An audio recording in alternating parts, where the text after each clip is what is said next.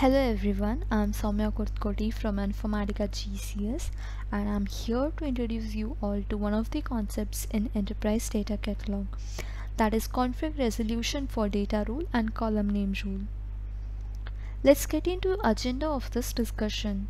We will be looking into what is data rule and column name rule with respect to data domains followed with options to resolve the conflict between data rule and column name rule. Data rule and column name rule specify the criteria on data domain association. We come across data rule, column name rule and conflict resolution options during creation of data domains in the LDM admin UI. For data domain association with any assets, either data rule or column name rule should match. As name itself specifies, the data rule is validated on the data present in any asset. Column name rule validates the asset name, for example column name in a relational table. We have three options or three ways to specify the rules for data domains. First one is to select reference table from the list of records fetched from reference database.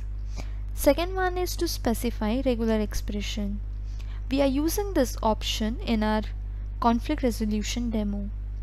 The last option is to select rules fetched from model repository service where rules are created either in developer client or analyst tool. Let's get into the main topic for our discussion that is conflict resolution options or ways for data rule and column name rule. First option we see in the list is if rules conflict data overrides the column name rule. In this scenario, data rule is considered on priority over the column name rule. The data domains are auto-accepted based on data rule results. Let's consider an example of column where user has populated name of the passenger's data. In the screenshot, we see that data rule is expecting data with alphabets along with dot or spaces and column name rule is strictly expecting name of the column to be name of the passenger. For demonstration, we have considered a column with different name that is passenger name instead of name of the passenger and data as John, Zubin and so on. In this example, we see that column name is not matching with the rule whereas data match is 100%. Hence the data domain passenger name is auto accepted considering the data rule result over the column name rule. From the screenshot of overview tab of data domain, we see passenger name rule under the auto accepted tabs. This is the screenshot of overview tab of the column and overing over the data domain we can see how the data domain is associated with the assets that is data matches 100%. Second option or way to resolve the rules conflict is column name overriding the data rule. Here data domains are auto accepted based on the column name rule results. We can consider an example of data domain class where it is expecting to have column name as class in different formats and data matching the keywords economy, business or first. We have a column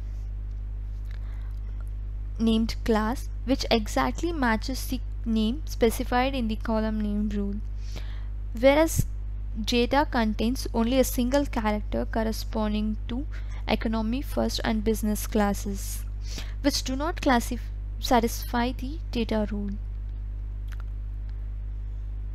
For the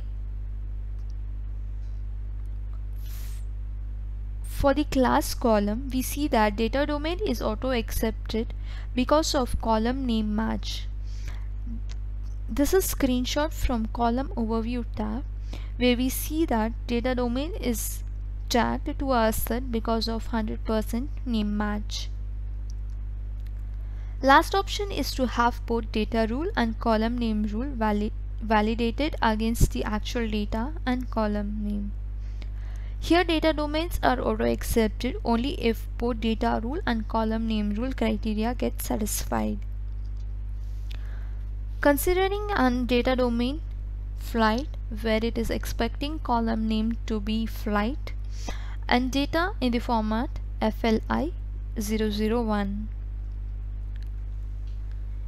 Here we have considered a column flight where it's exactly matching with the data rule and also with the column name rule.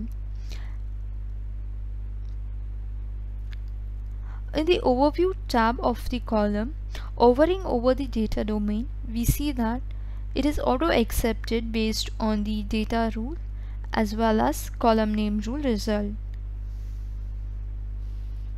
You can refer the administrator guide for information on the conflict resolution. We would love to hear from you on support videos and Twitter. Thank you for joining us on this discussion.